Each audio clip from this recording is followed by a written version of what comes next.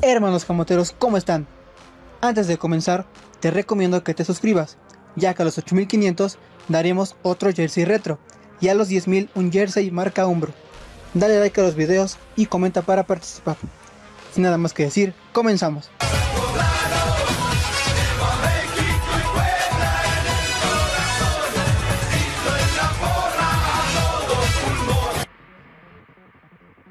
El equipo de la franja visitó al equipo del Atlas hace unos momentos. El marcador lo abrió Diego de Buen al minuto 2 con este remate. Posteriormente, al 10, tras una buena jugada de Brian Angulo, Carlos Baltasar remató así para anotar el segundo de la noche.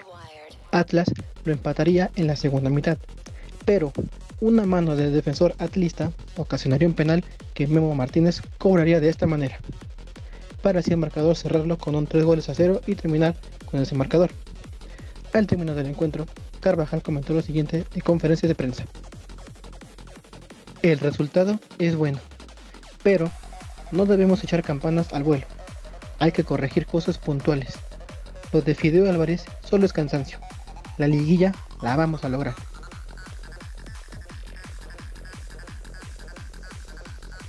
Facundo Waller se convierte en baja para la franja lo que resta del torneo.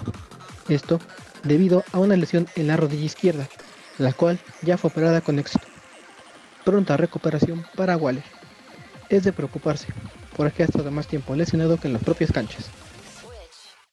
Diego de Buen fue elegido el jugador del partido gracias a su gol anotado en los primeros minutos, el cual abrió el marcador.